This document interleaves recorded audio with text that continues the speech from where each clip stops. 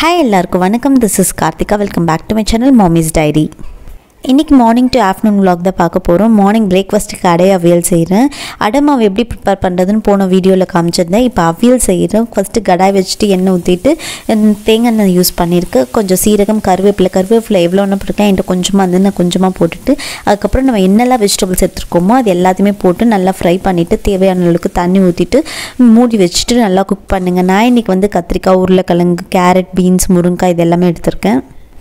அவியலுக்கு வந்து தேங்காய் வந்து நம்ம கோசாக வந்து ஒரு பேஸ்ட் மாதிரி அரைச்சி ஊற்றணும் அதுக்கு வந்து ஒரு அரை முடி தேங்காய் ஒரு ரெண்டு பச்சை மிளகா எடுத்துருக்க ஒரு ஒரு டீஸ்பூன் வந்து சீரகம் சேர்த்துட்டு நல்லா ஒரு கோஸ் பேஸ்ட்டாக வந்து அரைச்சி எடுத்துக்கலாம். மீன்வேல் வெஜிடபிள்ஸும் நம்மளுக்கு குக் ஆகிருக்கும் குக்கான வெஜிடபிள்ஸ்க்கு வந்து தேவையான அளவுக்கு சால்ட் சேர்த்துட்டு அது கூட வந்து நம்ம வந்து அரைச்சி வச்சுருக்கோம்ல விழுது அதை வந்து இதில் சேர்த்துட்டு நம்ம ஒரு டூ த்ரீ மினிட்ஸ் நல்லா வந்து பாயில் பண்ண விடலாம்.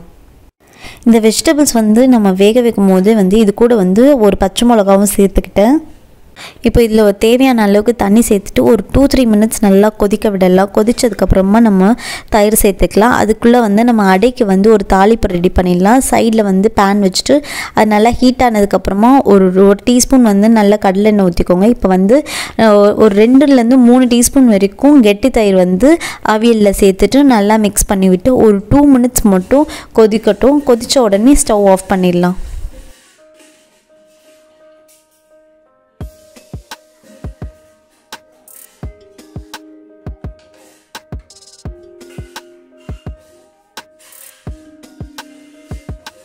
இப்போ தாளிப்புக்கு எண்ணெய் நல்லா சூடானதுக்கப்புறமா கடுகு சேர்த்துட்டு வெங்காயம் பச்சை மிளகாய் கருவேப்பிலை கொத்தமல்லி இது எல்லாமே சேர்த்துட்டு நல்லா வதக்குங்க. நல்லா ஒரு டார்க் கோல்டன் ப்ரௌன் ஆகிற வரைக்கும் நல்லா வதக்குங்க. வதக்குனதுக்கப்புறமா நம்ம வந்து தேங்காய் சேர்த்துக்கலாம். மீன்பால் நம்மளோட அவியலும் சூப்பராக ரெடி ஆயிடுச்சு. இது கூட லாஸ்ட்டாக வந்து கொஞ்சமாக ஒரு டீஸ்பூன் வந்து தேங்காய் எண்ணெய் சேர்த்து நீங்கள் ஸ்டவ் ஆஃப் பண்ணிக்கலாம். சூப்பராக இருக்கும் டேஸ்ட்டு இப்போ வெங்காயம் நல்லா வதங்கினதுக்கப்புறமா ஒரு அரை முடி தேங்காய் வ- சேர்த்து நல்லா வதக்குங்க. தேங்காய் வந்து நல்லா ஒரு கோல்டன் ப்ரௌன் ஆகிற வரைக்கும் நல்லா வதங்கினதுக்கப்புறமா ஸ்டவ் ஆஃப் பண்ணிடலாம். இது கொஞ்சம் நேரம் ஆறுனதுக்கப்புறமா நம்ம அடை மாவில் மிக்ஸ் பண்ணிக்கலாம். இந்த அடமாவோட ரெசிபி வந்து போன வீடியோவில் வந்து நான் ஷேர் பண்ணியிருக்கேன். இன்கேஸ் நீங்கள் செக் பண்ணலாம் கண்டிப்பாக போய் செக் பண்ணி பாருங்கள் அடமாவில் வந்து நான் சால்ட் சேர்க்கல. தேவையான அளவுக்கு சால்ட் சேர்த்துட்டு கொஞ்சமாக தண்ணி ஊற்றி நல்லா மிக்ஸ் பண்ணி விட்டுக்கோங்க. ஏன்னா அடமா வந்து ரொம்ப திக்காக இருக்குது அதே மாதிரி இந்த தாளிப்புலையும் லைட்டாக வந்து நான் சால்ட் சேர்த்துருக்கேன். அதை காமிக்க மறந்துட்டேன். இப்போ இந்த தாளிப்பை வந்து அடமாவில் சேர்த்துட்டு கன்சிஸ்டன்சி செக் பண்ணிக்கோங்க. ரொம்ப திக்காக இருந்துச்சுன்னா ஒரு- மாதிரி சரியாகவே வராது அடை. நீங்கள் வந்து கரெக்டான கன்சிஸ்டன்சிக்கு கொஞ்சமாக தண்ணி ஊற்றிட்டு நல்லா மிக்ஸ் பண்ணிவிட்டு அதுக்கப்புறமா தோசை ஊற்றுங்க அடை தோசைக்கு வந்து நீங்கள் அவியல் மட்டும் இல்லை நீங்கள் வந்து புதினா சட்னி இல்லைன்னா கார சட்னி கூட வச்சு சாப்பிடலாம். சூப்பர் டேஸ்டியாக இருக்கும். யூஸ்வலாக வந்து இதுக்குன்னே ஒரு சட்னி இருக்குது அது வந்து நான் வேறு வீடியோவில் காட்டுறேன். அந்த சட்னி வந்து இதோட வந்து பர்ஃபெக்டாக இருக்கும். அடைக்கு எப்போவுமே பாதி எண்ணெய் பாதி நெய் மிக்ஸ் பண்ணி வச்சு தான் நான் எப்போவுமே தோசை ஊற்றுவேன் அப்போ வந்து அந்த அந்த அடை தோசையோட வாசனையும் அந்த டேஸ்ட்டும் வந்து இன்னுமே என்ஹான்ஸ் பண்ணும். மீடியம் லோவில் வச்சு நீங்கள் வந்து தோசை சுடுங்க. ஏன்னா அடை வந்து கொஞ்சம் திக்காக இருக்கும். வேகத்துக்கு கொஞ்சம் டைம் எடுக்கும். நீங்கள் வந்து மீடியம் லோவில் வச்சுட்டு நீங்கள் சுடும் போது நல்ல கோல்டன் கலரும் வரும். டேஸ்ட்டும் நல்லாயிருக்கும் உள்ளேயும் நல்லா வெந்திருக்கும். அடை தோசை வந்து சூப்பராக ரெடி ஆயிடுச்சு. இதை வந்து நீங்கள் புதினா சட்னி இல்லைன்னா கார சட்னி எது கூட வேணாலும் சூப்பராக இருக்கும். ஆனால் அவியலோட பெஸ்ட்டாக இருக்கும். கண்டிப்பாக ட்ரை பண்ணி பாருங்கள்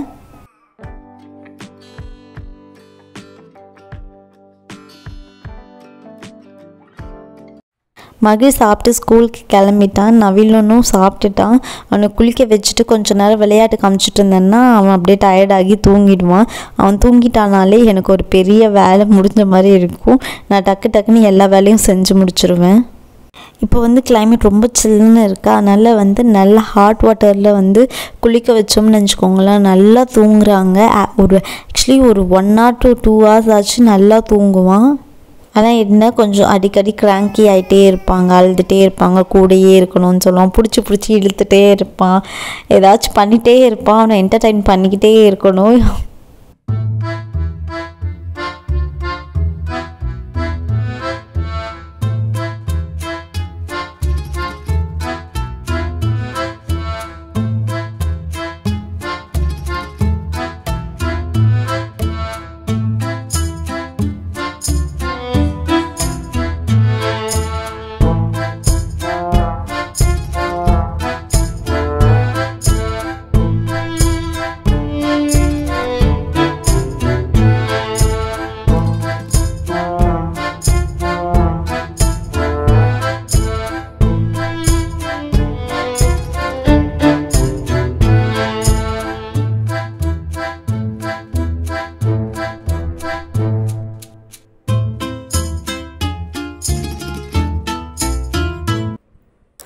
நவிலனை தூங்க வச்சுட்டு நானும் ஃப்ரெஷ் ஆகிட்டு லஞ்ச் பண்ண வந்துட்டேன். இன்றைக்கி லஞ்சுக்கு பார்த்தீங்கன்னா சிக்கன் பிரியாணி தான் செய்கிறேன் இந்த பிரியாணிக்கு வந்து மசாலா வந்து ஓவராலாக இருக்காது.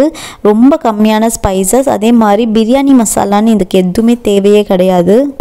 கிட்ஸ்க்கு கூட நீங்கள் வந்து தாராளமாக கொடுக்கலாம். ஏன்னா இதில் ஓவர் காரம்லாம் இருக்காது. கண்டிப்பாக வந்து டேஸ்ட் வந்து பக்காவாக இருக்கும். கண்டிப்பாக இந்த ரெசிபியை நீங்கள் ட்ரை பண்ணி பாருங்கள் இன்றைக்கி வந்து நான் ஒரு த்ரீ ஹண்ட்ரட் கிராம்ஸ் சிக்கன் எடுத்திருக்கேன். அது நல்லா டர்மரிக் போட்டு நல்லா ஒரு டூ த்ரீ டைம் வாஷ் பண்ணிவிட்டு தனியாக எடுத்து வச்சுக்கோங்க. ரைஸும் பார்த்தீங்கன்னா ஒரு த்ரீ ஹண்ட்ரட் கிராம்ஸ் ரைஸ் தான் எடுத்திருக்கேன். பாஸ்மதி ரைஸ் ஈக்குவல் ப்ரொப்போர்ஷன்ஸாக நீங்கள் போட்டுக்கலாம். இல்லைனா ஒரு ஃபிஃப்டி கிராம் அந்த மாதிரி மேலே கீழே போட்டுக்கலாம். இப்போது நீங்கள் ஒரு கால் கிலோ சிக்கன் எடுத்துக்கிங்கன்னா முந்நூறு கிராம் ரைஸ் வரைக்கும் போட்டுக்கலாம். அதுக்கு மேலே போட்டிங்கன்னா டேஸ்ட் நல்லா இருக்காது. இப்போ ரைஸ் எப்போவுமே நீங்கள் வந்து பிரியாணிக்கு மட்டும் நல்லா வாஷ் பண்ணிவிட்டு ஒரு டூ டைம்ஸ் நல்லா வாஷ் பண்ணிவிட்டு அதுக்கப்புறமா ஊற வைங்க. ஊற வச்சுட்டு நீங்கள் வாஷ் பண்ணிங்கன்னு வச்சுக்கோங்களேன் ரைஸ் வந்து உடஞ்சிரும். பிரியாணிக்கு வந்து ரைஸ் ரொம்ப நேரம் ஊற வைக்கணும்னு அவசியம் இல்லை. Maximum ten to fifteen minutes ஊறினாலே போதும்.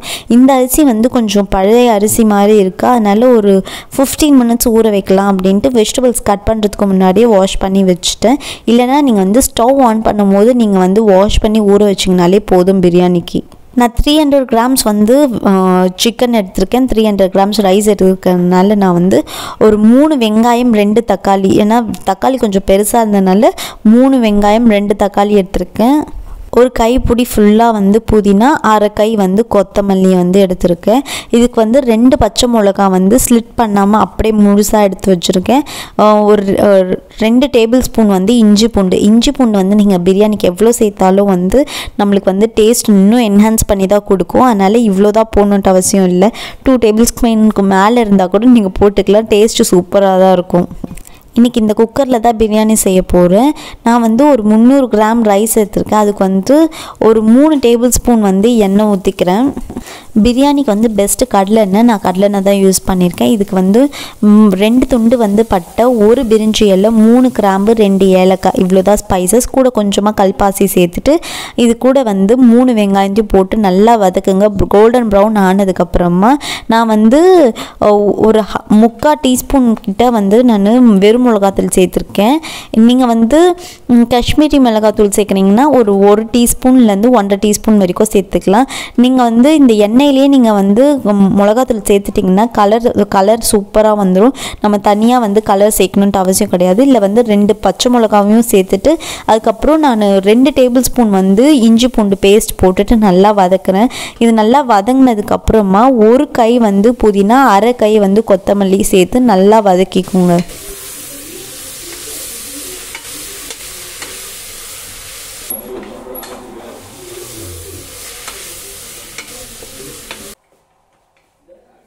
புதினா கொத்தமல்லி வந்து மசாலாவோடு சேர்ந்து நல்லா வதங்கினதுக்கப்புறமா நம்ம ரெண்டு தக்காளி வந்து கட் பண்ணி வச்சுருக்கோம்ல அதையும் சேர்த்துட்டு நல்லா சாட்டே பண்ணுங்கள் நல்லா தக்காளி வந்து மஷி ஆகணும். அது வரைக்கும் வந்து வேக வைக்கலாம். நீங்கள் வந்து தட்டு போட்டு கூட மூடி வச்சுட்டு ஒரு டூ மினிட்ஸ் நீங்கள் விட்டிங்கன்னா தக்காளி வந்து நல்லா மஷி ஆகிடும் அதுக்கப்புறமா வந்து நம்ம தேவையான அளவுக்கு தயிர் சேர்த்துக்கலாம். நான் ஒரு ரெண்டு டீஸ்பூன் வந்து தயிர் சேர்த்துக்கிட்டேன். தயிர் சேர்த்து நல்லா மிக்ஸ் பண்ணதுக்கப்புறமா நம்ம வாஷ் பண்ணி வச்சுருக்க சிக்கனை வந்து இந்த மசாலாவில் சேர்த்துடலாம். மசாலா வந்து சிக்கனுக்குள்ளே நல்லா இறங்கணும். அதனால் ஒரு ஃபைவ் மினிட்ஸ் வந்து சிக்கன் வந்து இந்த மசாலாலேயே குக் ஆகட்டும். அதுக்கப்புறமா தண்ணி சேர்த்துக்கலாம்.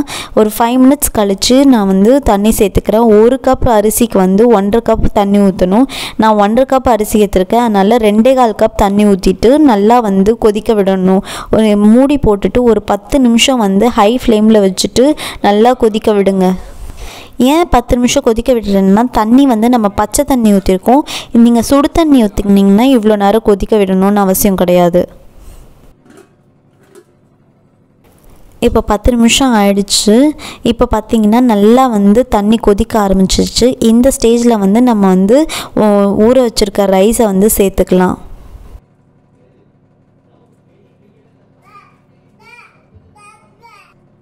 ரைஸ் சேர்த்துட்டு லைட்டாக மிக்ஸ் பண்ணிக்கோங்க. லைட்டாக மிக்ஸ் பண்ணிவிட்டு நீங்கள் வந்து சால்ட் செக் பண்ணி பாருங்கள் சால்ட் வந்து லைட்டாக கறிக்கிற மாதிரி இருந்ததுன்னா பர்ஃபெக்டாக இருக்கும்.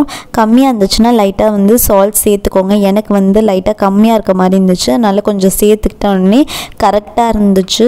இப்போ வந்து மூடி போட்டுட்டு கரெக்டாக வந்து டூ மினிட்ஸ் வந்து ஹை ஃப்ளேமில் வச்சுருங்க. டூ மினிட்ஸ் கழித்து ஓப்பன் பண்ணி பார்த்தீங்கன்னா ரைஸும் வாட்டரும் வந்து சேம் லெவலில் இருக்கும். இந்த ஸ்டேஜில் வந்து என்ன பண்ணுங்கன்னா ஸ்டவ்வை வந்து சிம்மில் வச்சுட்டு நல்ல ஒரு வெயிட்டான பாத்திரத்தை வந்து மேலே வச்சுக்கோங்க. நான் இந்த இடுக்கி கல் வச்சுருக்கேன். கரெக்டாக டென் மினிட்ஸ் வந்து அந்த சிம்மில் வந்து குக் பண்ணதுக்கப்புறம் நீங்கள் ஓப்பன் பண்ணி பார்த்தீங்கன்னா இப்படி தான் இருக்கும் பர்ஃபெக்டாக வெந்திருக்கும். இப்போ நான் எடுத்து காட்டுறேன் பாருங்கள் க தண்ணி எதுவுமே இல்லவே இல்லை. பர்ஃபெக்டாக வெந்திருக்கு.